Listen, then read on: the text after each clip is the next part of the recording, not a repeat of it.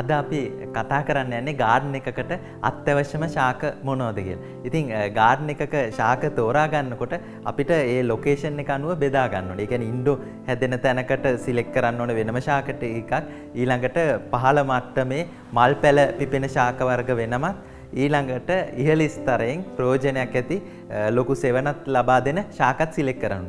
ඉතිං සාමාන්‍යයෙන් අපි ඉන්ඩෝ මුලින්ම සිලෙක් කරන්නකොට අත්‍යවශ්‍යම ශාක තමයි අර ඔක්සිජන් ප්‍රොඩියස් කරන ඔය සෙන්සෝවේරයා වගේ ශාක වර්ග.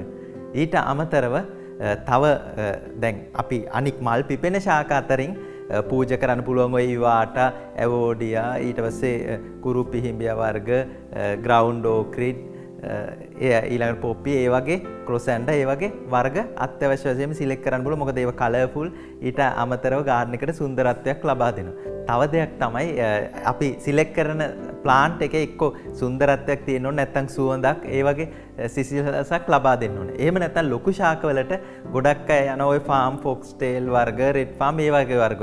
නමුත් ඒවා අත්‍යවශ්‍ය ශාක නෙමෙයි. ඊට වඩා අපේ ලංකාවට ආවේනික ශාක. එහෙම නැත්නම් පළ ප්‍රයෝජනයක් තියෙන ශාකයකට යනවා නම් වඩා හොඳ. ඒ කියන්නේ බෙහෙත් ශාකයක්. එහෙම නැත්නම් පළතුරක්. දැන් අපි උදාහරණ ගත්තොත් අඹ ගහක්, රඹුටන් ගහක්, උගුරැස, වෙරළු ඊළඟට දැන් ඔය ආත්තා ඒ වගේ ලෙඩ රෝගවලටත් හොඳ ශාක වර්ග.